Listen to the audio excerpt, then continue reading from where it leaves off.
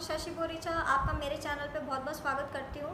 आज मैं आपको एक्सप्लेन करूँगी doctrine of signature Ophidia group के लिए। मतलब आप डॉक्ट्रिन ऑफ़ सिग्नेचर को कैसे यूज़ कर सकते हैं कोई भी ग्रुप की मेडिसिन को याद करने के लिए। तो अभी मैं आपको ओफीडिया ग्रुप की स्टडी बताऊँगी कि आप ओफीडिया ग्रुप की मेडिसिन को कैसे ईजिली याद कर सकते हैं। ये जो मैं वीडियो बना रही हूँ, ये स्टूडेंट्स के लिए ज़्यादा यूज़फुल रहेगी। स्टूडेंट्स जिनको बहुत ज़्यादा डिफ़िकल्टी होती है कोई भी ग्रुप की मेडिसिन को याद करने में, उनको बहुत ज़्यादा कन्फ्यूज़न होने लग जाता है, उन्हें कुछ भी समझ में नहीं आता, वो सबको मिक्सअप कर देते हैं। जितने भी मेडिसिन होती हैं, उनके सिम्टम्स को वो मिक्सअप कर देते हैं। तो मैंने ये जो वीडियो है, ये स्टूडेंट्स के लिए बनाना ज़रूरी समझा है ताकि उनको इजीली याद हो जाए कि कौन कौन सी ग्रुप की मेडिसिन में आप डॉक्ट्रिन ऑफ़ सिग्नेचर को यूज़ करके कैसे कोई भी मेडिसिन या कैसे कोई भी ग्रुप को आप याद कर सकते हैं। तो अभी मैं आपको पहले बता देती हूँ कि डॉक्ट्रिन ऑफ़ सिग्नेचर होता क्या है। डॉक्ट्रिन ऑफ़ सिग्नेचर आप कह सकते हैं सिग्नेचर का मतलब है कोई भी साइन या फिर सिम्टम जो कि बहुत ज़्यादा कॉमन है। जैसे कोई भी प्लांट है या कोई भी एनिमल है, उनके कोई भी सिम्टम्स जो कॉमन है, उसकी अगर कोई मेडिसिन बनती है तो वो आपके बॉडी में भी सेम सिम्टम्स को प्रोड्यूस कर देगी। जैसे कि होम्योपैथी का लॉ है सिमिलिया, सिमिलिबस कुरंटर।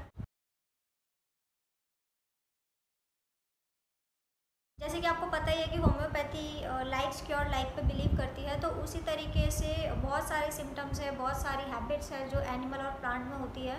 तो जब उनकी कोई मेडिसिन बनती है तो वो हमारी बॉडी में सेम इफ़ेक्ट लाने लग जाती है।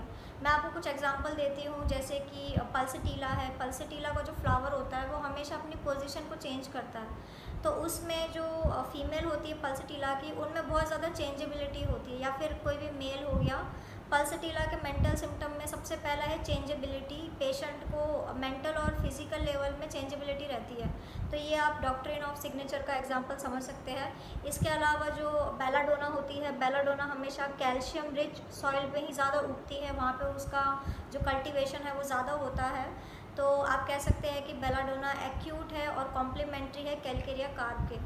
तो ये एक डॉक्ट्रिन ऑफ़ सिग्नेचर का बहुत ही अच्छा एग्ज़ाम्पल है। इसके साथ ही साथ कुछ मैं बहुत ही ईजी एग्ज़ाम्पल देती हूँ जैसे वॉलनट होता है वॉलनट दिखने में ब्रेन जैसा होता है। तो आ, कहा जाता है कि वॉलनट ब्रेन के लिए बहुत अच्छा है मेमोरी के लिए बहुत अच्छा है मेमोरी को शार्प करता है। ब्रेन से रिलेटेड अगर किसी को कोई प्रॉब्लम होती है तो उनके लिए वॉलनट बहुत ही ज़्यादा हेल्दी होता है। और एक एग्जांपल मैं देती हूँ जो बहुत ज़्यादा कॉमन है, वो है कैरेट आप लोगों ने घर पे सुना ही होगा पेरेंट्स बोलते हैं कि अगर आप गाजर खाओगे तो आपकी आइज़ बहुत अच्छी होगी। तो आप कभी कैरेट को काट के देखना, कोई भी स्लाइस्ड कैरेट होता है, वो बिल्कुल आपको दिखने से आइज़ जैसा लगता है। उसमें वही सारे जो उसका अपेयरेंस होता है, वो आइज़ जैसा होता है। तो आप कह सकते हैं कि नेचर में जितने भी प्लांट है एनिमल्स हैं, उनके जितने भी सिम्टम्स होते हैं तो अगर उसकी कोई मेडिसिन बनती है तो वो आपकी बॉडी में सेम इफ़ेक्ट करती है। तो ये है डॉक्ट्रिन ऑफ़ सिग्नेचर के एग्जांपल्स तो डॉक्ट्रिन ऑफ़ सिग्नेचर को लेके मैं आपको ओफीडिया ग्रुप एक्सप्लेन करूँगी. जैसा कि आपको पता ही है ओफीडिया ग्रुप मतलब वो मेडिसिन जो स्नैक वैनम से बनती है। मतलब जितने भी स्नैक्स हैं, अगर उनसे कोई मेडिसिन बनती है, उनके वैनम से कोई मेडिसिन बनती है तो उसको ओफीडिया ग्रुप की मेडिसिन कहा जाता है। होम्योपैथी में ओफीडिया ग्रुप्स बहुत ज़्यादा इंपॉर्टेंट है। इनकी जो मेडिसिन है, उसके बहुत ही अच्छे रोल है, बहुत अच्छे इफ़ेक्ट है। तो मैं आपको कुछ स्नैक की हैबिट्स और स्नैक्स के जितने भी कैरेक्टरिस्टिक फीचर होते हैं, उसको समझा के मैं आपको ओफीडिया ग्रुप के जो कैरेक्टरिस्टिक सिम्टम्स है, वो मैं आपको एक्सप्लेन करूँगी। लेकिन उससे पहले आप प्लीज़ मेरे चैनल को सब्सक्राइब कर लीजिए और साथ ही साथ जो बेल आइकन है उसको प्रेस कर दीजिए ताकि आपको मेरे आने वाली वीडियोज़ का पता चलता रहे। तो सबसे पहले जो फ़र्स्ट पॉइंट है वो ये है कि स्नैक्स बहुत ही ज़्यादा सेंसिटिव होते हैं एक्सट्रीमली सेंसिटिव होते हैं हीट को लेके। तो आपको पता होगा कि स्नैक्स जो है वो हमेशा बहुत ही डीप जो बरो होते हैं डीप जहाँ पे बहुत ज़्यादा खड्डे होते हैं, वहाँ पे वो अंदर रहते हैं क्योंकि वहाँ पे उन्हें बहुत ज़्यादा ठंडा फील होता है। तो सेम चीज़ आप ओफीडिया ग्रुप के पेशेंट में देख सकते हैं, उनको, उनके जितने भी सिम्टम्स हैं वो एग्रावेट होते हैं वार्मथ की वजह से। जो गर्मी है, गर्म इलाका है, वहाँ पे उनको बहुत ज़्यादा, उनके जितने भी सिम्टम हैं वो वर्स्ट होने लग जाते हैं। हॉट ड्रिंक वो बिल्कुल भी टॉलरेट नहीं कर सकते। ओफीडिया ग्रुप के लोगों को वार्म है हॉट ड्रिंक है, या फिर समर जो सीज़न होता है, गर्मियों का टाइम या फिर सन में जब भी वो धूप में निकलते हैं, तब उनको सारी प्रॉब्लम होने लग जाती है। तो ये फ़र्स्ट पॉइंट है। सेकेंड पॉइंट ये है कि जो स्नैक्स होते हैं, वो बहुत ही ज़्यादा पॉइजनस होते हैं, बहुत ज़्यादा फेरोशियस होते हैं मतलब एग्रेसिव या फिर बहुत ज़्यादा वायलेंट होते हैं। जब वो हंग्री होते हैं मतलब जब भी उनको भूख लग रही होती है, उस टाइम वो हद से ज़्यादा पॉइजनस हो जाते हैं और बहुत ज़्यादा एग्रेसिव हो जाते हैं। तो सेम सिम्टम ओफीडिया ग्रुप के पेशेंट में भी आता है, जब भी वो फास्टिंग करते हैं। जब भी वो खाना नहीं खाते फास्टिंग में होते हैं, तब उनके जितने भी सिम्टम्स हैं, वो बहुत ज़्यादा एग्रावेट होते हैं। और जैसे ही वो ईटिंग कर लेते हैं, जैसे ही वो खाना खा लेते हैं, उसके बाद उनके सारे सिम्टम्स अपने आप ही ठीक होने लग जाते हैं। मतलब उनका जो एम्लियोरेशन है, वो ईटिंग से सही हो जाता है और उनके जितने भी सिम्टम्स हैं, वो एग्रावेट होते हैं जब वो फास्टिंग में होते हैं। तो ये इसका सेकेंड पॉइंट था। अब मैं आपको इसका थर्ड पॉइंट बता देती हूँ।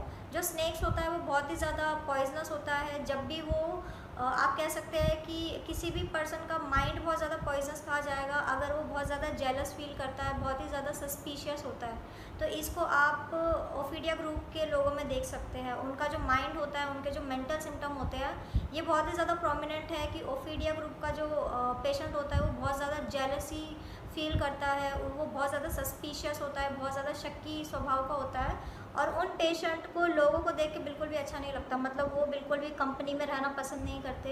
एक टाइप से उनको एवर्जन होता है। लोगों को देख के वो कभी भी खुश नहीं होते। उनका जो नेचर है वो बिल्कुल भी फ्रेंडली टाइप का नहीं होता। ओफीडिया ग्रुप के जो पेशेंट होते हैं, वो बहुत ही ज़्यादा जेलस होते हैं। लोगों के साथ रहना उनको अच्छा नहीं लगता। तो ये एक बहुत ही इंपॉर्टेंट पॉइंट है। इससे आप उनके मेंटल सिम्टम्स को याद रख सकते हैं। नेक्स्ट पॉइंट है कि जो स्नैक होता है, वो हमेशा अपने आप को कॉयल करता है तो वो लेफ़्ट साइड से लेके राइट साइड में अपने आप को कॉयल करता है। तो ओफीडिया ग्रुप में भी ये बहुत ज़्यादा कॉमन है। ओफीडिया ग्रुप्स के जो जितने भी पेशेंट होते हैं, उनके सिम्टम्स हमेशा लेफ़्ट से लेके राइट साइड में जाते हैं। तो आप इससे उसको याद कर सकते हैं।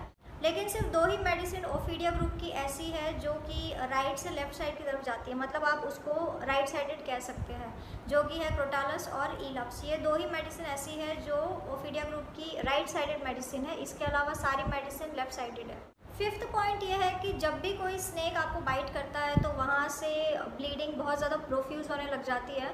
उसका एक रीज़न ये भी है कि जब पॉइज़न आपकी बॉडी में जाता है तो उसको निकालने के लिए, उसको काफ़ी हद तक बॉडी से आउट करने के लिए वहाँ पे आपको एक्टिवली ब्लीडिंग होती है, बहुत ज़्यादा प्रोफ्यूज ब्लीडिंग होती है। तो ये बहुत ही इंपॉर्टेंट कैरेक्टरिस्टिक फीचर है कि जो भी ओफीडिया के पेशेंट होते हैं, उनको जनरल रिलीफ तभी मिलता है जब उनको ब्लीडिंग हो रही होती है। जैसे फीमेल्स हैं, उनको जैसे मेंसेस स्टार्ट हो जाएगा तो उनके सारे सिम्टम अपने आप क्योर हो जाते हैं। इसके साथ ही साथ कोई भी बॉडी से डिस्चार्ज हो रहा है तो जब भी इनके बॉडी से कुछ भी डिस्चार्ज होगा या फिर इनको ब्लीडिंग होने लग जाएगी, उसके बाद ये पेशेंट बहुत ही ज़्यादा बेटर फील करते हैं। इसके अलावा जो नेक्स्ट पॉइंट है, वो ये कि स्नैक्स बहुत ही ज़्यादा सेंसिटिव होते हैं टच को लेके और वाइब्रेशन को लेके। सेम चीज़ आप ओफीडिया ग्रुप के पेशेंट में देख सकते हैं। उनको एग्रावेशन होगी जब आप उनको टच करेंगे या फिर स्लाइट साउंड भी होगा, थोड़ा सा भी साउंड आएगा तो उससे उनके सारे सिम्टम बहुत ज़्यादा वर्स्ट होने लग जाएँगे, उनको एग्रावेशन होने लग जाएगी। तो ये बहुत ही इंपॉर्टेंट इसका कैरेक्टरिस्टिक फीचर है। इसके अलावा जो स्नेक होता है, वो कोई भी चीज़ को बहुत इजीली स्वेलो कर देता है। आपने नोटिस किया होगा कि जो स्नेक होता है, वो अपने से बड़े साइज़ के जो एनिमल है, जैसे कि रैट होता है या कोई भी एनिमल होता है, उसको बहुत ईजीली वो स्वेलो कर लेता है। तो उसका रीज़न यही है कि उनके जो थ्रॉट है, वो प्रेशर अप्लाई करते हैं, जिसके वजह से वो ईजीली सॉलिड चीज़ों को स्वेलो कर लेता है। तो सेम चीज़ आप ओफीडिया ग्रुप के पेशेंट में देख सकते हैं। उन्हें सॉलिड चीज़ों को स्वेलो करने में बिल्कुल डिफ़िकल्टी नहीं होती, लेकिन लिक्विड को उन्हें स्वेलो करने में बहुत ज़्यादा प्रॉब्लम होती है। तो ये भी एक डॉक्ट्रिन ऑफ़ सिग्नेचर का बहुत ही अच्छा एग्ज़ाम्पल है। नेक्स्ट पॉइंट ये है कि जो स्नैक का स्टूल होता है, वो बहुत ही ज़्यादा डार्क कलर का होता है, बहुत ज़्यादा ऑफेंसिव होता है। तो जितने भी ओफीडिया ग्रुप के जो मेडिसिन होते हैं, उसमें जितना भी बॉडी से डिस्चार्ज होता है, वो बहुत ही ज़्यादा ऑफेंसिव होता है, बहुत ज़्यादा डार्क कलर का होता है। तो ये एक एग्ज़ाम्पल है डॉक्ट्रिन ऑफ़ सिग्नेचर का। सो so फ्रेंड्स ये था doctrine of signature Ophidia group की स्टडी के लिए बहुत ज़्यादा इंपॉर्टेंट है। आप इसको यूज़ करके किसी भी ग्रुप की मेडिसिन को या फिर किसी भी पर्टिकुलर मेडिसिन को आप याद कर सकते हैं। डॉक्ट्रिन ऑफ़ सिग्नेचर का मैं और एक एग्जांपल आपको देना चाहती हूँ, जैसे कि टेरेंटुला हिस्पेनिया है। तो ये जो मेडिसिन है, आपको पता होगा कि ये स्पेनिश स्पाइडर से बनती है। तो ये जो स्पाइडर होता है, वो बहुत ही ज़्यादा सेंसिटिव होता है ड्रम की बीट्स को लेके। तो टेरेंटुला उन लोगों पे बहुत अच्छा काम करती है जो ओवर सेंसिटिव होते हैं म्यूज़िक को लेके। तो ये भी एक बहुत ही ज़्यादा अच्छा एग्ज़ाम्पल आप कह सकते हैं। सो so फ्रेंड्स ये था डॉक्ट्रिन ऑफ़ सिग्नेचर और स्टडी ऑफ़ ओफीडिया ग्रुप आप कैसे ओफीडिया ग्रुप को याद कर सकते हैं इस डॉक्ट्रिन ऑफ़ सिग्नेचर के थ्रू तो अगर आपको मेरा वीडियो बहुत ज़्यादा यूज़फुल लगा हो, बहुत ज़्यादा इन्फॉर्मेटिव लगा हो तो आप प्लीज़ इसको लाइक कर दीजिए और साथ ही साथ आप मेरे चैनल को सब्सक्राइब कर लीजिए ताकि आपको मेरे आने वाली वीडियोज़ का पता चलता रहे, उसका नोटिफिकेशन आपके पास पहुँचता रहे। तो आज के लिए बस इतना ही।